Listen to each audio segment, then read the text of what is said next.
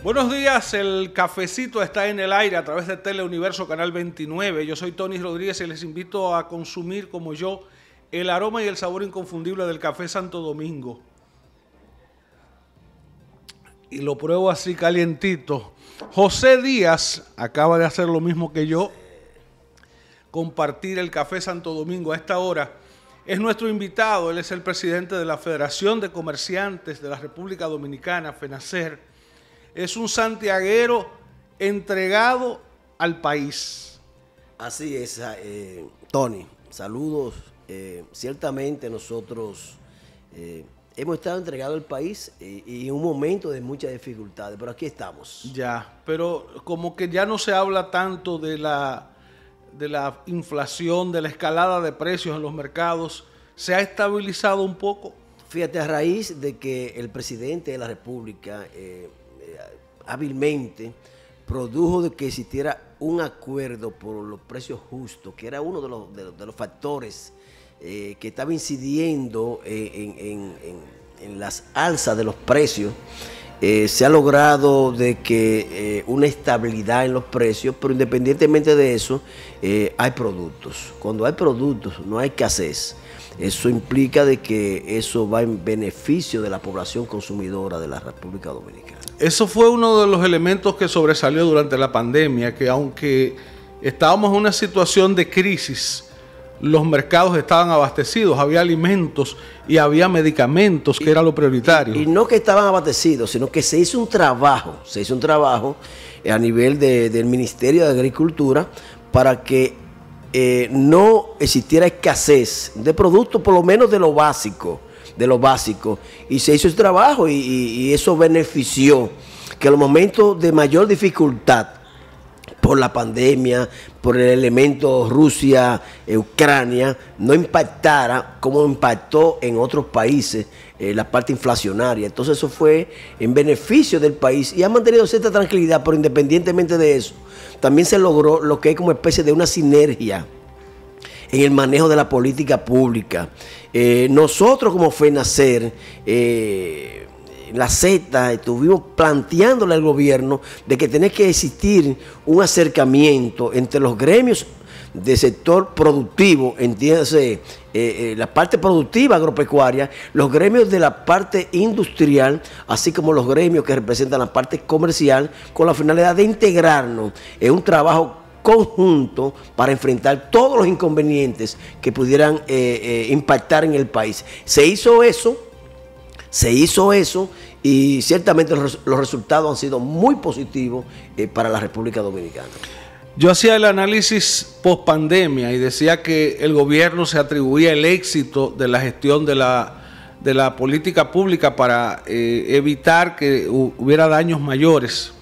Y hay que reconocer que sí, que la política sanitaria y los controles que se dispusieron fueron exitosos. Ahora, esa sinergia que mencionas, sin el comercio, sin el comerciante como soporte, como complemento, no hubiese dado mismos resultados. Por supuesto que no. Fíjate, eh, la cúpula empresarial eh, y específicamente la, parte del comercio eh, hizo un trabajo, entendió que por encima de todo estaba el país. Lo entendimos así, nos pusimos a trabajar en esa misma línea y, y nosotros hoy podemos decir que hemos salido airosos de todos los inconvenientes que se nos han presentado hasta el momento y vamos a seguir eh, siendo eh, exitoso si continuamos de la forma unida que hemos venido trabajando, porque ahí ha estado la clave del éxito y dicho, dicho sea de paso, el gobierno tiene su parte eh, en este éxito, así como también los sectores productivos,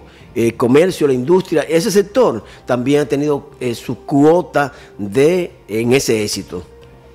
Cada momento tiene sus obstáculos, tiene sus retos ¿Cuáles son los actuales retos del sector comercio en el país? Bueno, lo importante para nosotros, tú sabes que el comercio es una parte intermediaria, eh, pero somos quienes enfrentamos básicamente la parte del consumidor, que es donde, donde impacta finalmente cualquier inconveniente. Nosotros hemos entendido que tenemos que mantenernos eh, trabajando, eh, produciendo de que el mercado esté suplido, es decir, somos los principales presionadores de que los mercados se mantengan suplidos que cuando haya un inconveniente, inmediatamente el circuito producción en materia agropecuaria del gobierno lo ponemos en ejecución. Entonces, se ha logrado que eh, eh, el gobierno se pueda manejar en función de consejo, en función de gabinetes, y eso ha integrado y ha creado lo que es eh, una especie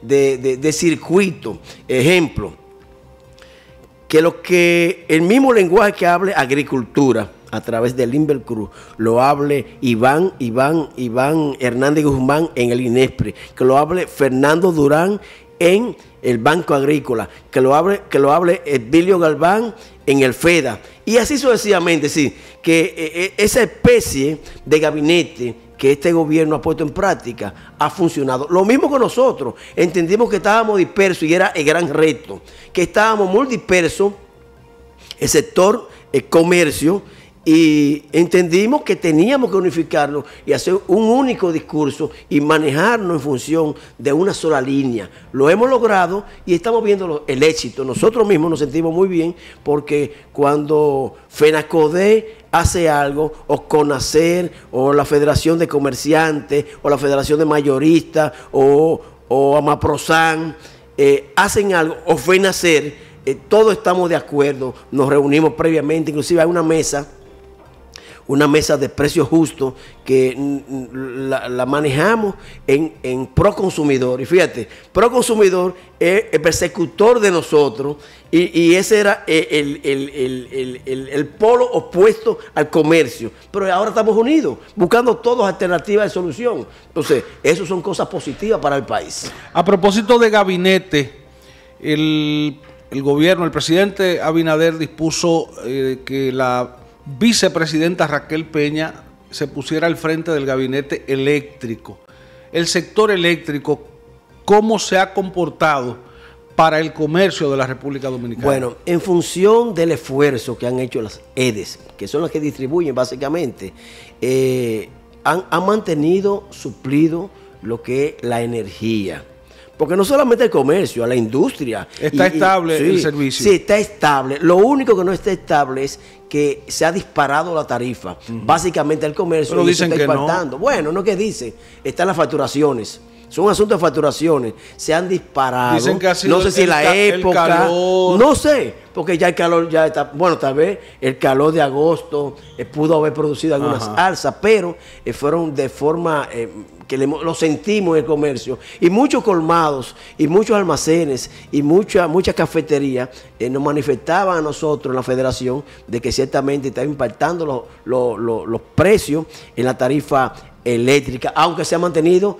estable, independientemente de los inconvenientes que hemos presentado eh, como país. Porque tú sabes que el impacto del huracán eh, Fiona prácticamente devastó la parte este del país y la parte nordeste. Nosotros inmediatamente, junto con Promipime, el comercio, estuvimos en la calle también evaluando y buscando alternativas. ¿A quién le falta? ¿A qué colmadero le faltaba eh, un préstamo para poder reinsertarse? Y todo eso se logró porque se emitieron 400 millones de pesos eh, en ese litoral a través de Promipyme para que el comercio pequeño básicamente no tuviera dificultades. Vamos a parar ahí. José Díaz es el presidente de la Federación Nacional de Comerciantes de la República Dominicana.